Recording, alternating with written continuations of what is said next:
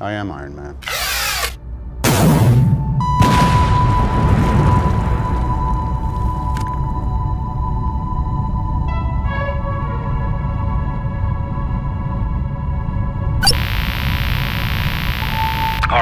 Welcome back to the channel and welcome to part 4 on the Iron Man Lexus engine bay. We're going to start off with this picture here. Let's get into it.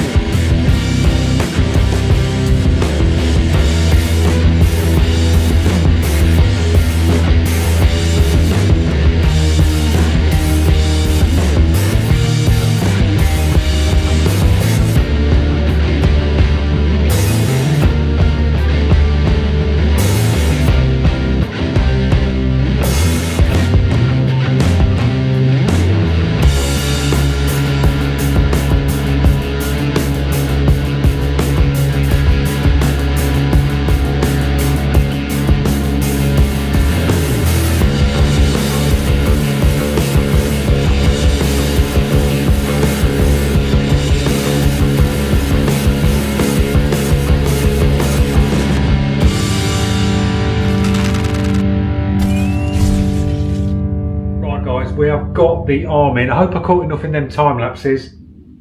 Went in with the metallic red for a start off.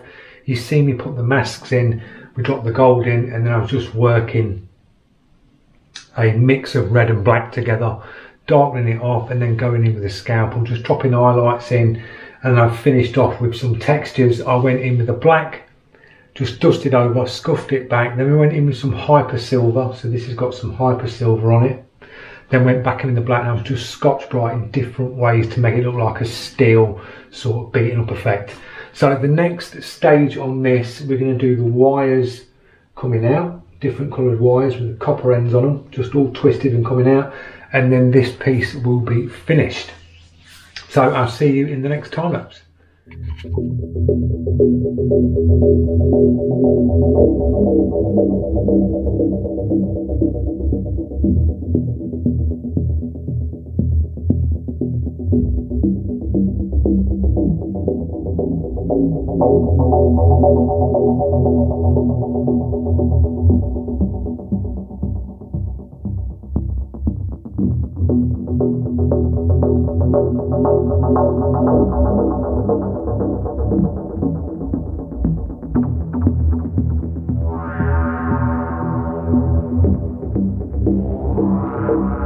Right,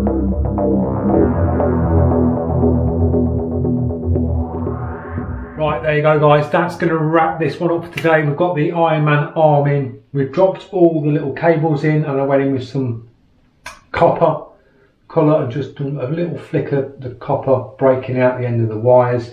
Drop shadowed all them so they look like they're standing off.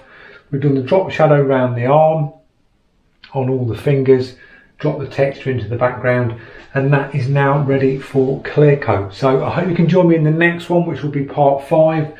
We're going to do the other hand and we're going to do the actual helmet of Iron Man on the other piece. So I hope you've enjoyed it. Don't forget if you're new to the channel click that subscribe, press that notification and I will see you in part five guys. Thanks for watching.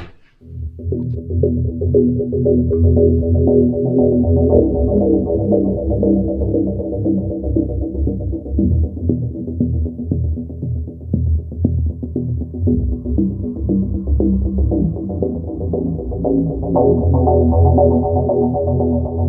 you.